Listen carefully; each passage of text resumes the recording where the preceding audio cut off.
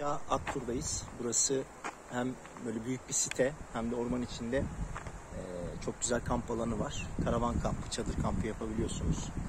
E, bungalov kiralayabiliyorsunuz ya da kamp alanı kiralayabiliyorsunuz. Parsellere ayrılmış bir yer. Biz çok beğendik. Biraz dolaşıp kısaca bakalım. Burası e, kamp alanının girişi arka tarafta siteler. Kamp alanına girdiğimizde burada zaten hemen parselleri görüyorsunuz. Motokaravan şimdi çıktı bir tane karşımıza. Güzel bir araç yapmışlar. Çadırla gelenler var. Böyle şu çizgilerin içerisindeki alanları parsel parsel kiralıyorlar. Çok yoğun bir yer aslında. Yaz döneminde çok önceden kiralama yapmanız lazım. Biz bayram için böyle bir iki ay önceden aramıştık. Denk geldi. Mayıs'ta zaten 1 Mayıs'ta açtılar bayramda. Ee, donanımı çok iyi, alanı çok iyi. Hem ormanı hem de denizi kullanabiliyorsunuz. Şu an ormanın içindeyiz zaten.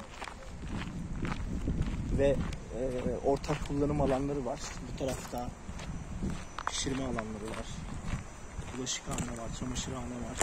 Tam böyle aslında böyle Avrupa standartlarında Avrupa'da görebileceğiniz kamp alanlarında olan bütün donanımlar var.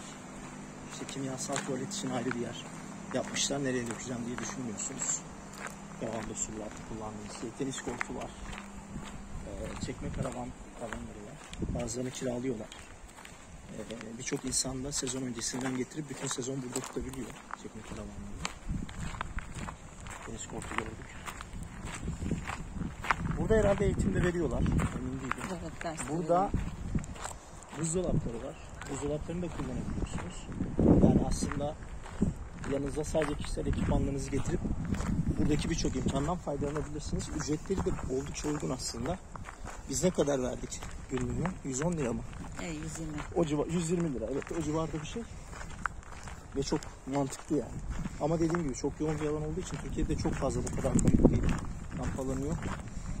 Burada Spasa'nın bir karavanı var. Alkovenli yapmışlar. Güzel olmuş. İşte çekme karavanları var insanların. Burada yine motokaravan. Tabii çoğunluğu şey çekme karavan. Hani motokaravan olarak da sabit olarak hareket edecekseniz motokaravanla da gelip böyle 3-4 gün ya da işte buradan çıkıp Datça'daki köyleri gezebilirsiniz. İmpalamız burada. Burası bizim alan. Güzel oldu yani. Arada bir çıkıp geziyoruz tabii ama burada sabit bir alanda da kalabiliyorsunuz. El sallayalım. İmpala mısın? burada şey var. Her parsel için elektrik ve su çıkışı var. Ve Bunları kullanmak için kendinize kablo ve hortum bu musluklara takılabilecek başlıklar da getirmeniz gerekiyor. Ee, ya da işte komşulardan rica ediyorsunuz ama zaten karavanda kendi ekipmanınızın bulunması çok daha iyi olur. Çok geniş ve keyifli bir alan. Böyle karavandan çıkıp yürüyerek çok kısa sürede denize ulaşabiliyorsunuz. İki tane koy var yan yana. Biri büyük koy, biri küçük koy. Şimdi onlara da bakacağız. Kamp alanından çıkalım.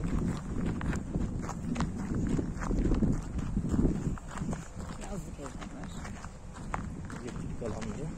Böyle burası sağ tarafa doğru aslında. Yani bizim gezimizden çok daha büyük bir kısmı kapsıyor.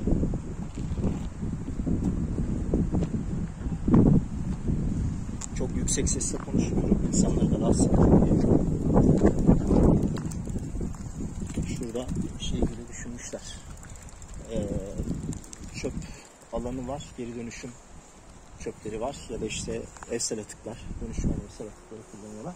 Burada da bu sitenin eski binaları hala burada konaklayan insanlar var. Oldukça eski yani belki 50-60 senelik tam bilmiyoruz tarihine bakmak lazım. Ee, işte bazıları yenilemiyor bazıları kullanıyor. Genelde yaşlı insanlar var. Çok fazla bisiklet kullanımı var. Çok keyifli bir yer.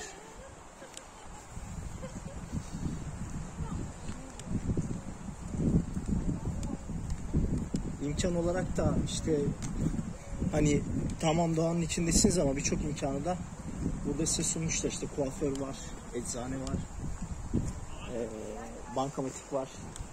Para çekmek isterseniz. İki tane Migros var. Migros Jet var. Bir tanesi buradaki küçük olan çok böyle yakın yürüyerek gidebiliyorsunuz.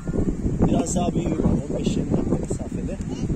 Yine arabayla ya da bisikletle gidebilirsiniz. Şurada haritası var Aktuğ'un. Onu da göstereyim. Burası böyle kocaman sitenin krokisi. Bizim kaldığımız yer nerededir? Bu kamping alanı. Şuralar aslında bizim kaldığımız bölümler. Burada çok daha fazla eee, şey var. Eee, site, konut alanı vesaire var. Şu iki tarafı, iki koy dediğimiz burası büyük olan koy, burası küçük olan koy. Şimdi denize zaten çok yakınız. Yürüyerek gideceğiz.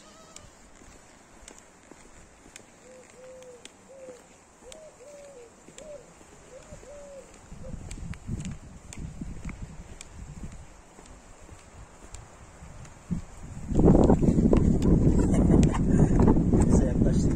Bir de şey güzel, e, rüzgar iki taraftan birinde esiyor. Koylar zırhlı olursa estiği zaman koyların biri daha sakin oluyor, biri daha hareketli oluyor.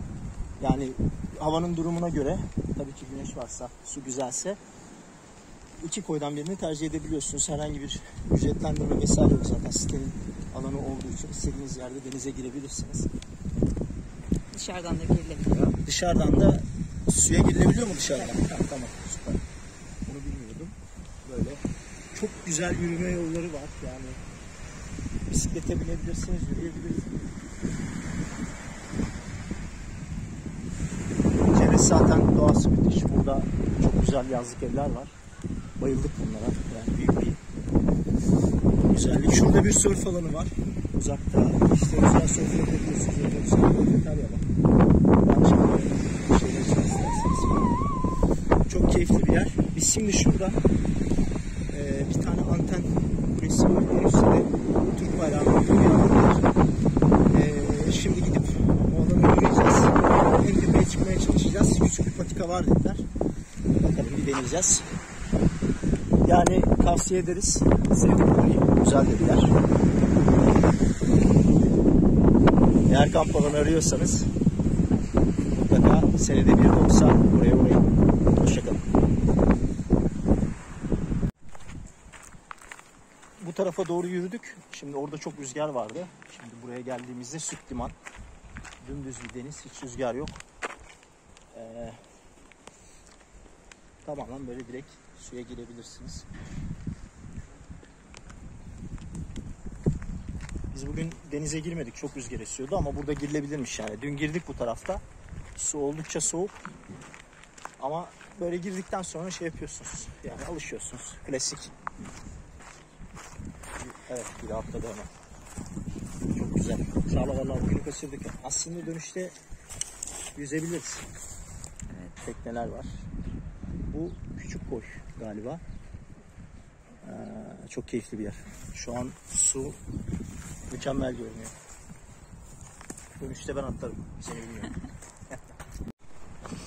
evet o bahsettiğimiz tepeye doğru çıkıyoruz. Daha şimdiden manzara güzelleşti. Yükseldikçe bahsettiğimiz iki koy sol tarafta ve sağ tarafta konumlanmış durumda. Hava güneşli ama rüzgarlı.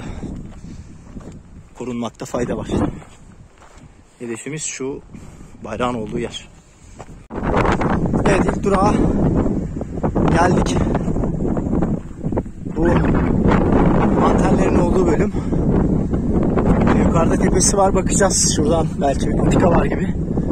Ya da şuradan şurayı kapatmışlar ama aşağı iniyor zaten. Muhtemelen şuradan bir geçiş var. Şöyle manzarayı gösterelim. Yoruldun mu? Yoruldum. Çağla yoruldu. hava. Şimdi hava hem güneşli hem rüzgarlı. O yüzden şapka, boyunluk, gözlük hatta içlik bile fayda sağlar, konforu arttırır. Kullanmak şart değil ama yine de ekipman bildiğiniz gibi konforu arttıran bir şey. Doğru ekipman kullanmakta fayda var. Çağla mesela sweatshirt giyindi. Terlemeye başlamıştır. Bakalım güzel burası. Yolu yarıladık sayılır. Ee, yükseldikçe manzara güzelleşiyor. Rüzgar da artıyor. Güneşin ısısı da artıyor. aşırı bir yükseklik yok.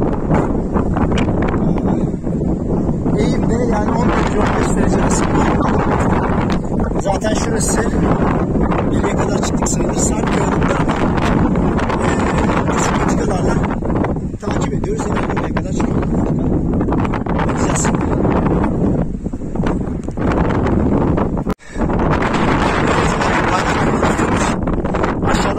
Edilmiyordu.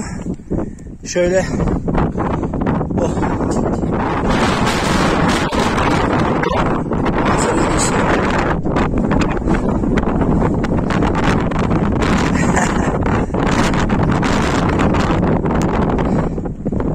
Muhteşem bir manzara.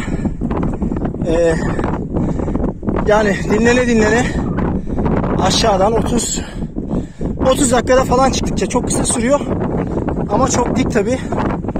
Hafif bir eee, ne diyelim sportif performans üstünde. Nefes nefese kalabiliyorsunuz. Çok güzel. Şöyle